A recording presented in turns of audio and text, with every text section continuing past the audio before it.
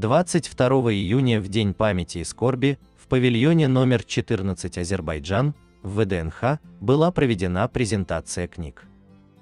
Азербайджан в Великой Отечественной войне, автор-составитель Алиев Гашим Мамед Джафар Аглы, заместитель председателя правления региональной национально-культурной автономии азербайджанцев Московской области и книга Ферангис и Ханлар.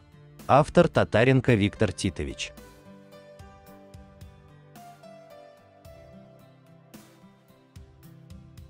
Организатор мероприятия – региональная национально-культурная автономия азербайджанцев Московской области. В приветственной речи открытия мероприятия председатель правления РНК Моэльшан Ибрагимов предложил минутой молчания почтить память всех погибших в Великой Отечественной войне. Затем был показан фильм «Азербайджан в Великую Отечественную войну», после которого выступил Алиев Гашим, который рассказал о том, что книга издана на средства субсидии правительства Московской области, выданные РНКМО. Составить такую книгу задумал давно, при этом прочитал все аналогичные имеющиеся книги, но решил ставить ударение именно на раскрытие роли бакинской нефти, а также вкладе о героическом труде всех жителей Азербайджана, но особенно предприятий Баку. Особое место в книге заняли материалы, доказывающие, что несмотря на то, что Баку не был фронтовым городом, но в тылу были достигнуты большие победы и результаты.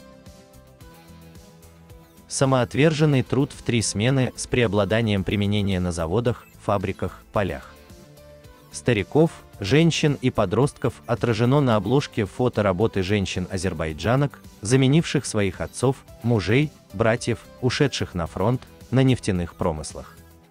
Ударный труд тружеников сельского хозяйства, заводов, перепрофилированных на производство вооружений, снарядов, патронов, в короткий срок были развернуты и успешно работали 89 госпиталей, вернувших фронту более 500 тысяч раненых. В неимоверно труднейших условиях нехватки специалистов более 5000 высококлассных специалистов были эвакуированы вместе с заводами и оборудованиями на Урал. Поволжье и Сибирь.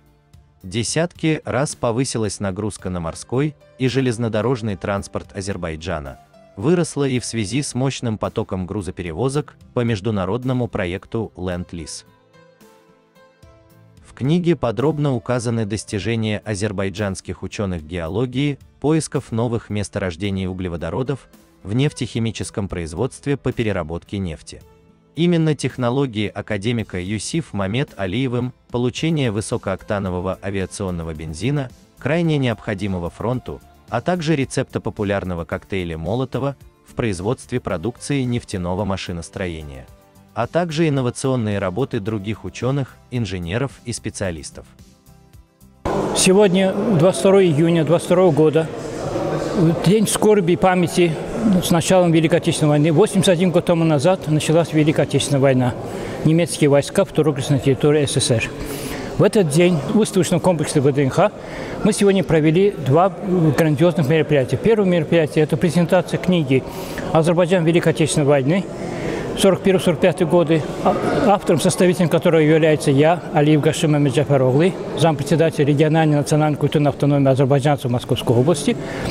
Я хочу отметить, что эта книга была составлена значит, мною, но издана на средства субсидий правительства Московской области, выданы нашей общественной организацией.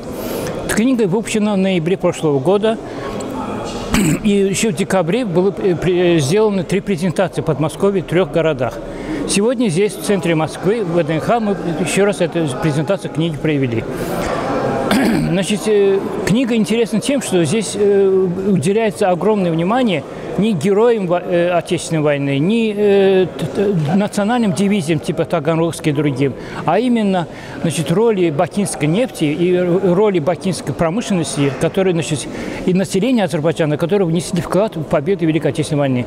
Как э, сын фронтовика, значит, я посвятил эту книгу памяти своего отца, который участвовал не только в Великой Отечественной войне 41-45 года, он еще участвовал в войне на озере Хасан, как компания Халкингол в 1939-1940 году. После этого участвовал в 41-45 году в Великой Отечественной войне, получил ранение и с осколком, глубоко засевшим в его э, теле, с осколком так и умер в 89 году.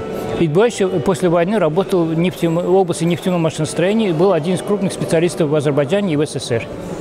Затем выступил капитан первого ранга в отставке Виктор Титович Татаренко, который рассказал о своей художественно-документальной трилогии, посвященной Первой Карабахской войне, о судьбах жителей Азербайджана разных национальностей, столкнувшихся с невыносимыми трудностями, лишениями, потерями, об их чувствах, любви и ненависти к врагам, принесшим бедствие.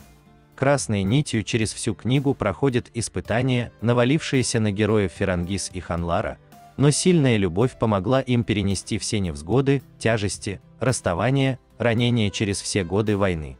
Но герои выдержали. В 2021 году после Второй Карабахской войне автор внес дополнение в книгу и переиздал, внеся факты героизма героев их сослуживцев. Что увеличило круг читателей, причем не только в Азербайджане, но и во многих регионах России и странах мира.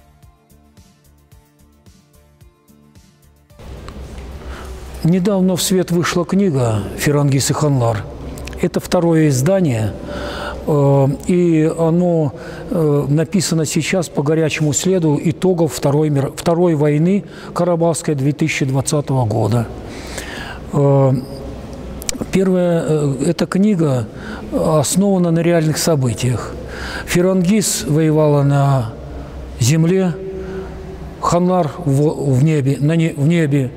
И они, судьба их соединила, и они в перерывах между боями поженились. И вместе в последнее время э, громили врага на, э, э, на вертолете. Она, он в качестве командира вертолета, а он командир полка был, а она в качестве бортстрелка. Их три раза сбивали, машина падала в бездну, но сила духа и любовь сохранила им жизнь. В заключение Виктор Титович наградил Эльшана Ибрагимова орденом «Долг и честь».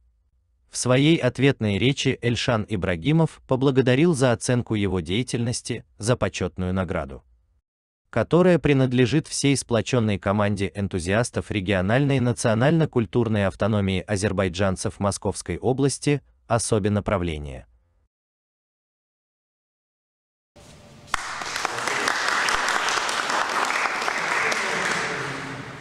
Хочу выразить благодарность руководству павильона Азербайджан ВДНХ за предоставленную возможность презентовать э, здесь книги наших авторов. Здесь сегодня мы презентовали две книги. Первая книга «Азербайджан Великий, в год Великой Отечественной войны», э, так как сегодня День памяти и скорби э, в России. А вторая книга – это уже посвящен э, Карабахской, книга, посвященная Карабахской войне Виктора Титовича Татаренко, а, друга нашего народа, э, заместителя руководителя русской общины Азербайджана. Э, презентация, я думаю, что получилась. Очень много интересных людей пришло. Э, еще раз благодарю всех присутствующих